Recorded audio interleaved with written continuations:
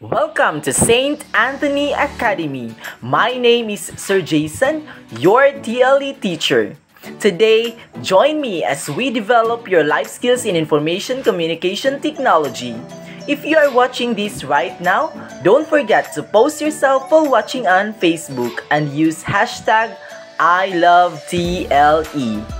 So class, be ready, get your pen, paper, and self-learning modules and let's begin our TLE journey. Now class, let's have the opening prayer. Father God, we thank you for this day that you gave to us. Guide us and bless us as we study. In Jesus' name, in the name of the Father, the Son, of the Holy Spirit. Amen.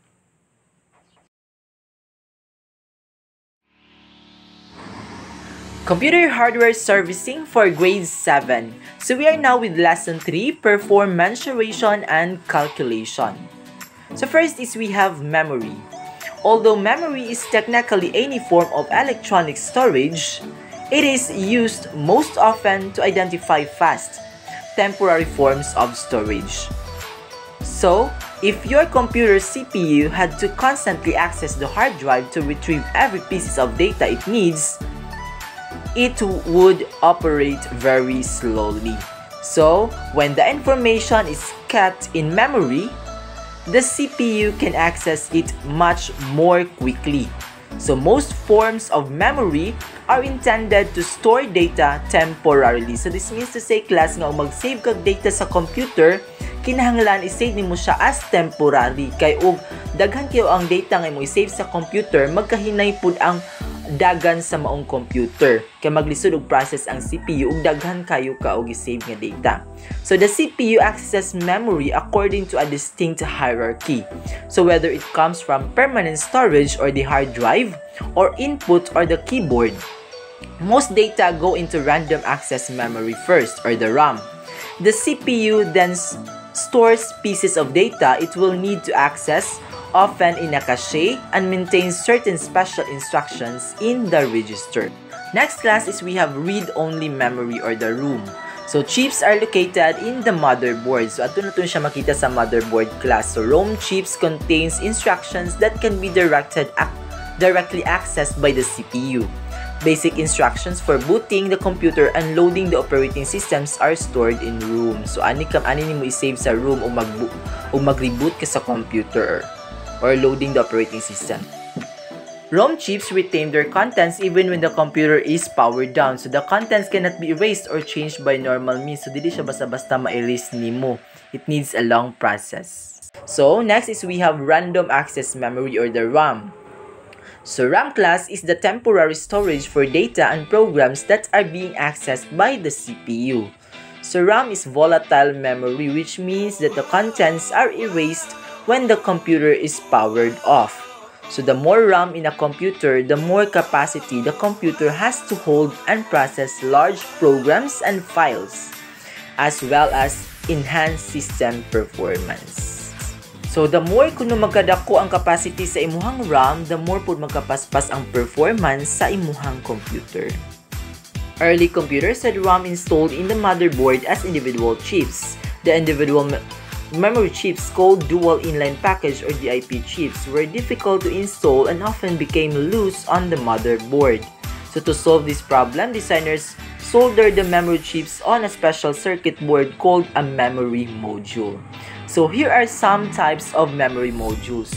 So we have dual inline package or the DIP, single inline memory module or SIMM, dual inline memory module or DIMM, Rambus Inline Memory Module or RIMM, and Small Outline Dual Inline Memory Module or SODIMM. So SIMMs have 30 pin and 72 pin configurations. DIMM is a circuit board that holds SDRAM. DDR SDRAM and DDR2 SDRAM. So the speed of memory has a direct impact on how much data a processor can process because faster memory improves the performance of the processor. So as processor speed increases, memory speed must also increase. So for example, single channel memory is capable of transferring data at 64 bits. So dual channel memory increase speed by using a second channel of memory. So creating a data transfer rate of 128 bits double data rate or DDR technology doubles the maximum bandwidth of SDRAM. DDR2 offers faster performance while using less energy. DDR3 operates at even higher speed than DDR2. However, none of these DDR technologies are backward or forward compatible. So even with a wide and fast bus, it still takes longer for data to, to get from the memory card to the CPU than it takes for the CPU to actually process the data. So cache are designed to elevate this bottleneck by making the data used most often by the CPU instantly available. Next class, we have registers. Registers are memory cells built right into the CPU that contain specific data needed by the CPU, particularly the arithmetic and logic unit or the ALU. An integral part of the CPU itself, they are controlled directly by the compiler that sends information for the CPU to process. Next is we have storage drives. Storage drives read or write information on magnetic or optical storage media. The drive can be used to store data permanently or to retrieve information from a media disk.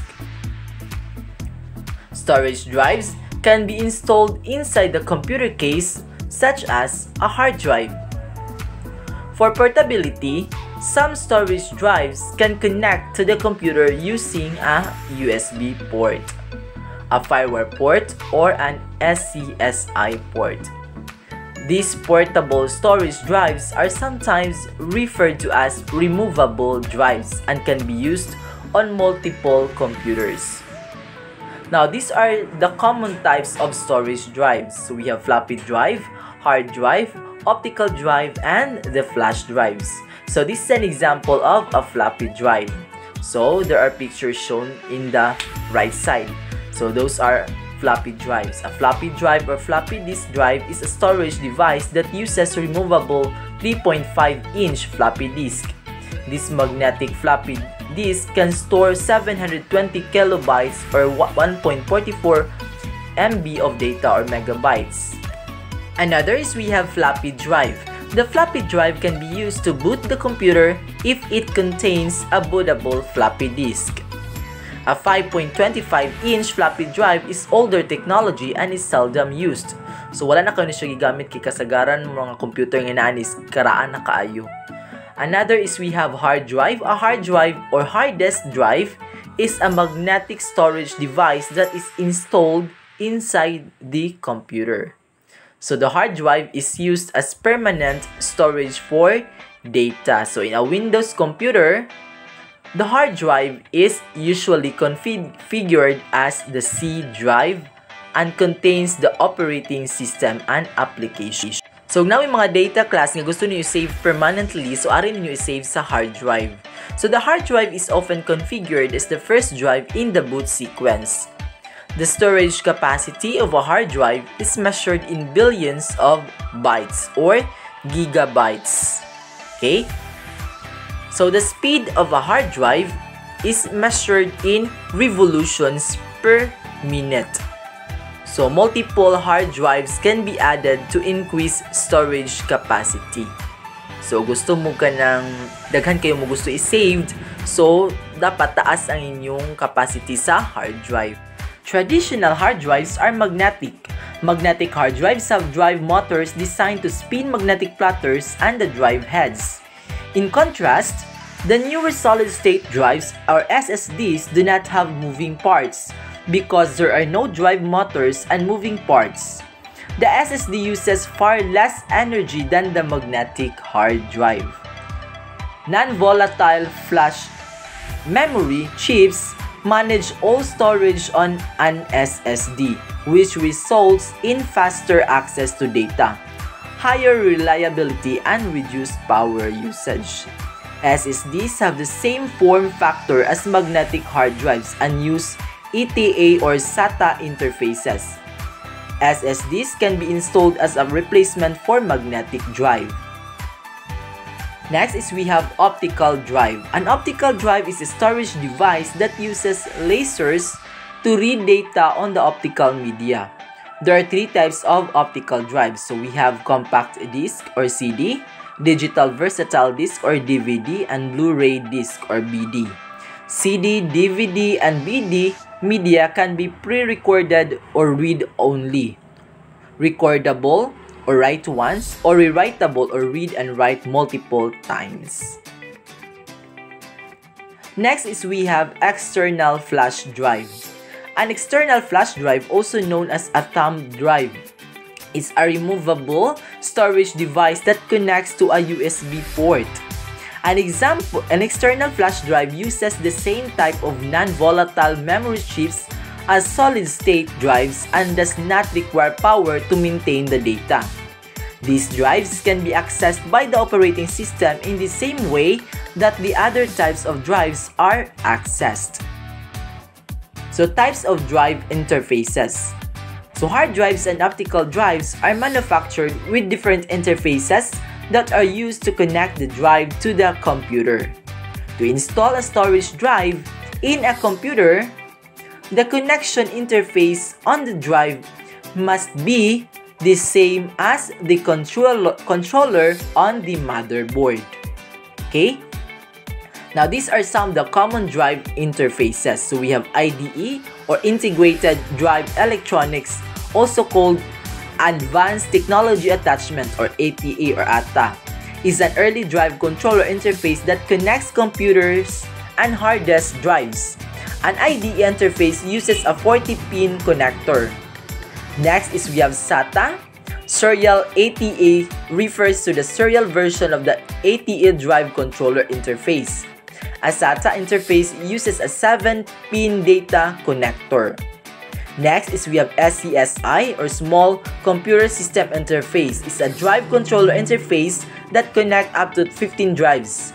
SCSI can connect both internal and external drives. An SCSI interface uses a 50-pin or 68-pin or 80-pin connector. So, mas daghan og pin ang SCSI. So, that ends our topic for today. So, goodbye and God bless everyone.